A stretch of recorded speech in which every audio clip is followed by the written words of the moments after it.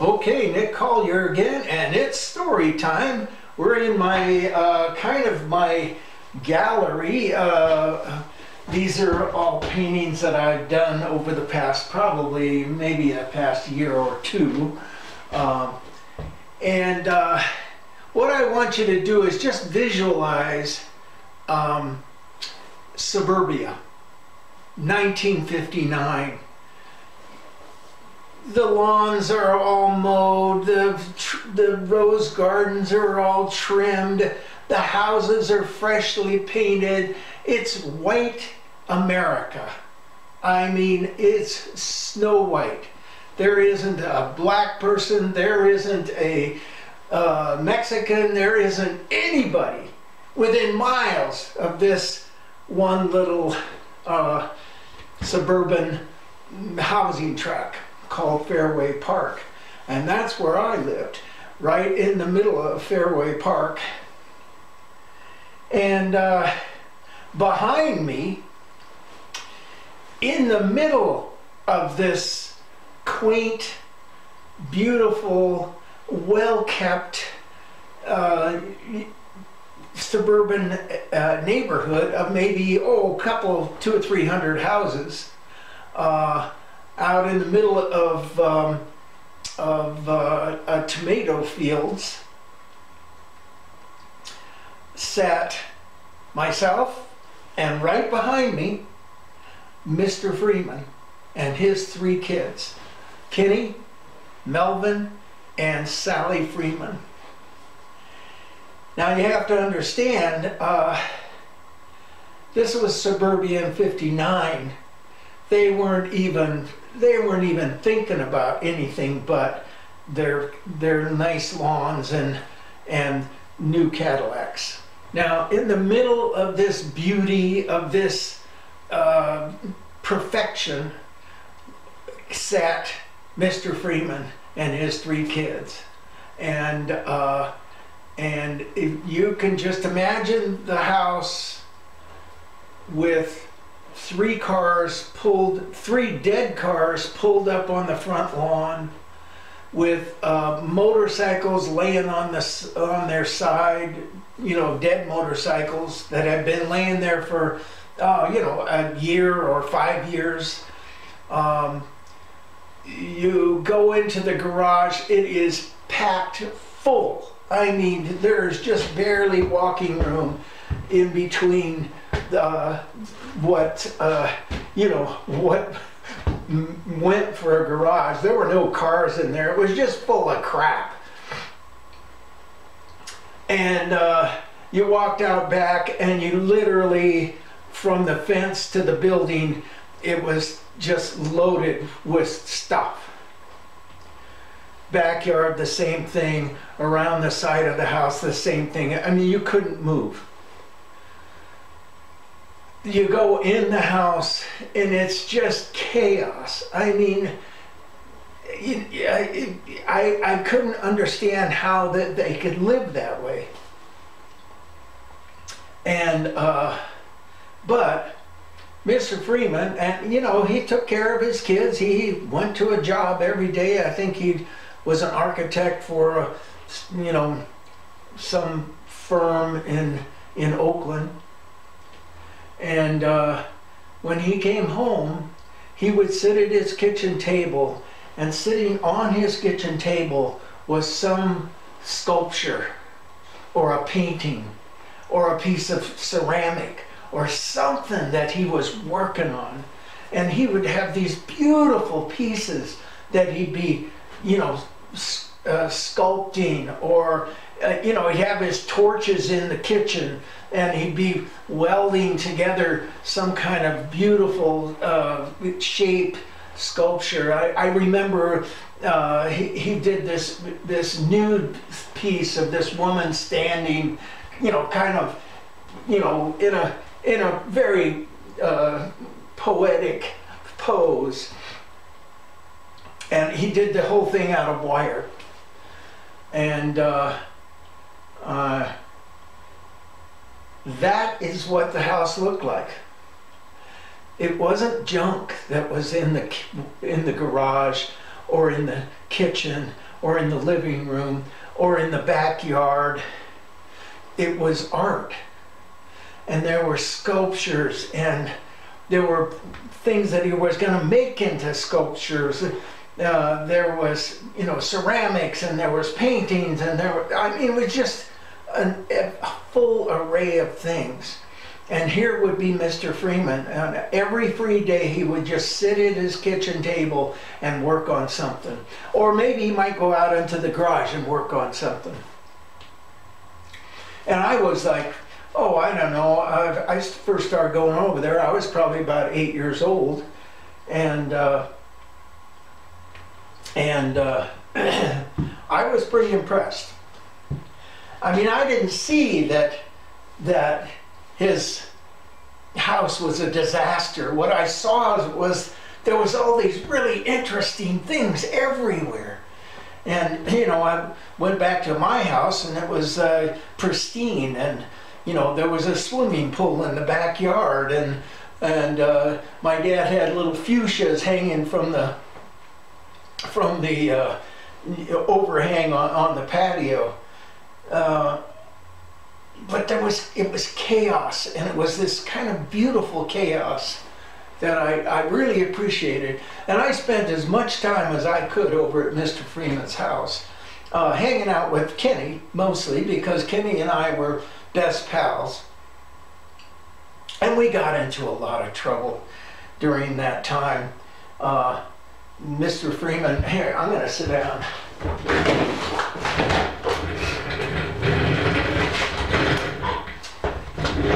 mean, he was constantly uh, involved in something.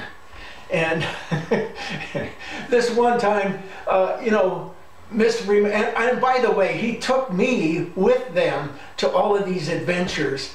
We went up to Lick Observatory one time. It was like a 40 mile drive back on this country road to the top of this mountain in San Jose.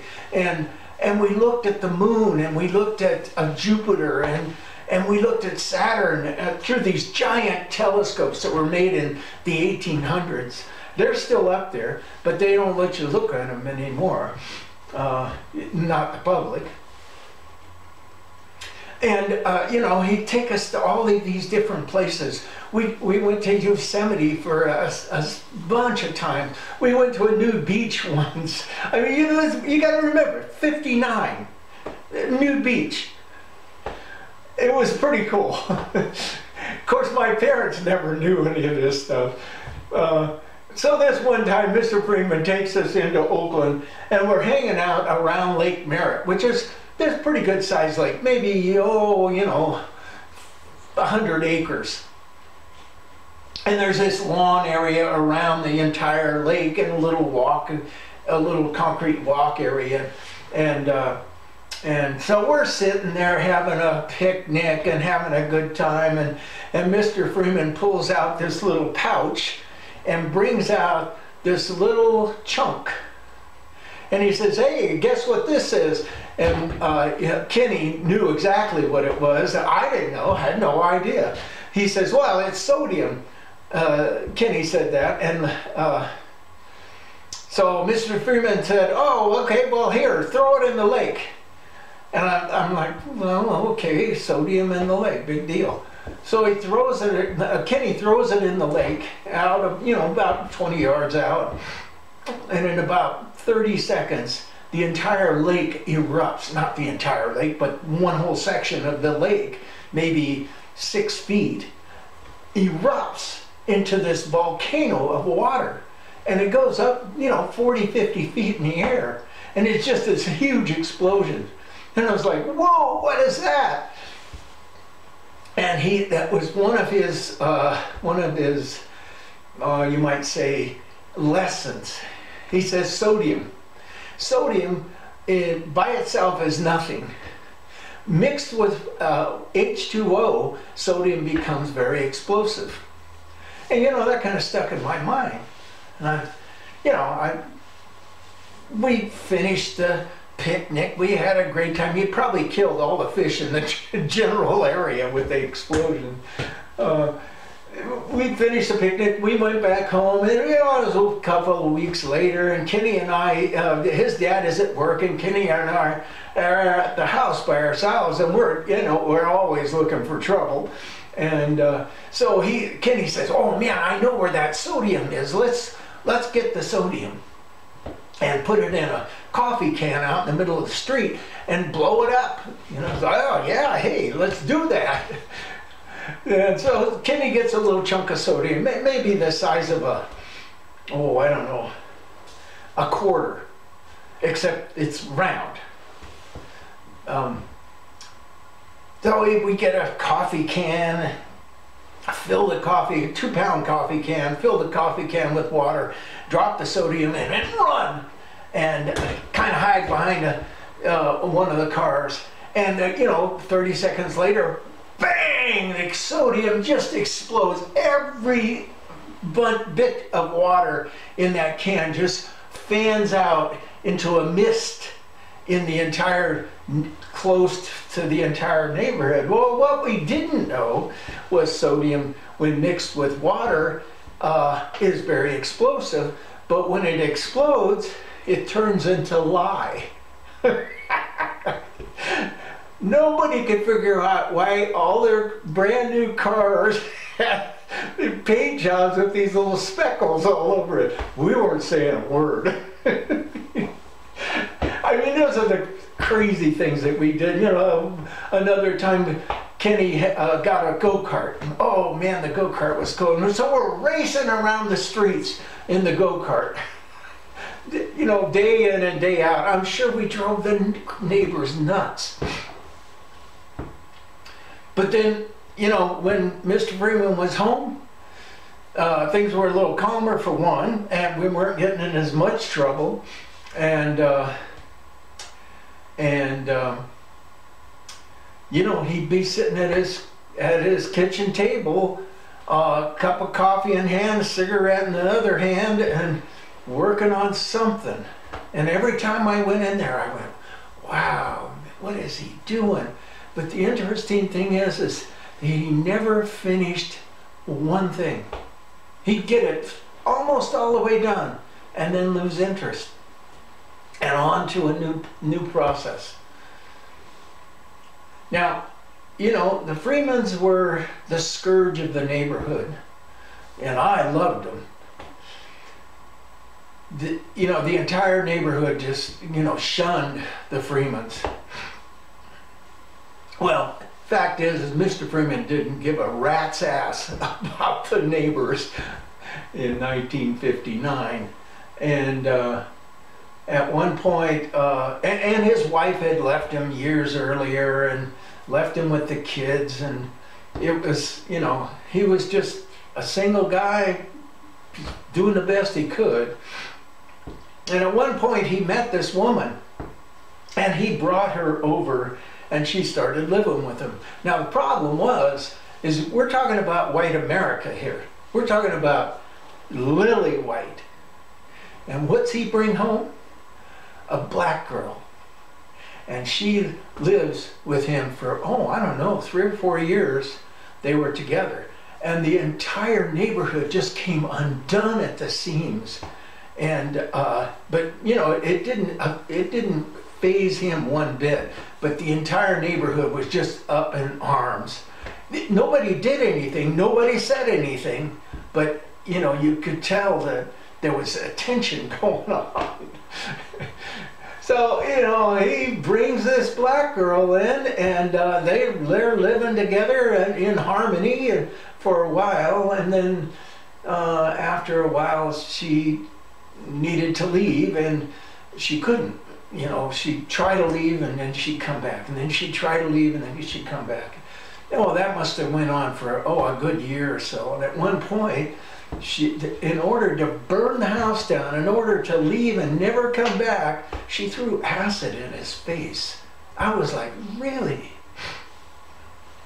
And, uh, you know, he, he was totally scarred after that. I think he lost an eye you know, his face was all messed up.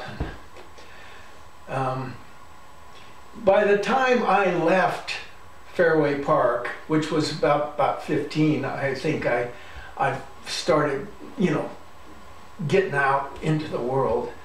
Uh, he was pretty shattered, uh, still sitting at his table, and he was oh, maybe 45 when he died. You know, it was a it was a sad state because for one, I was too young to understand what had happened. You know that he was this gem uh, in this in this sea of mediocrity, and um, so his influence caused me to be what I am today. Um, and uh, the art you see behind you has, every time I pick up a brush, I think of him. And that's the story of Mr. Freeman and the Freeman household. Nik Colyer checking out.